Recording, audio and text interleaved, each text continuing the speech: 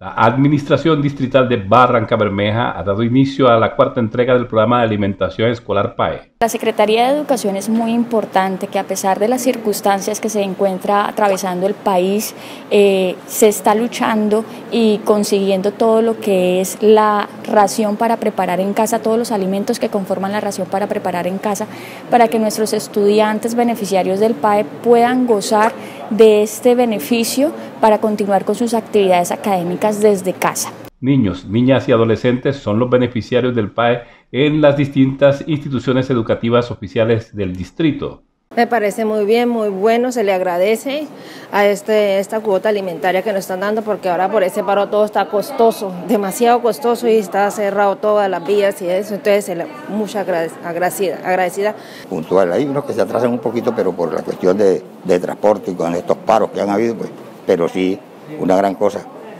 para hay familias que inclusive no tienen y esto es una casualidad muy buena para ellos. Me parece bien, ya con esta es la cuarta vez que le